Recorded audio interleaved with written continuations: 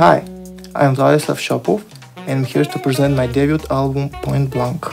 When I fell in love in jazz, I got introduced to guitarists John Scofield and Mike Stern.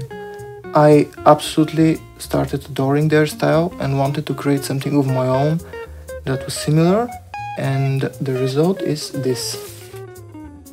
We poured our heart in creating the records for this album, and we also put a lot of effort in the design, and thanks to the funding from our National Culture Fund, we managed to create this great product.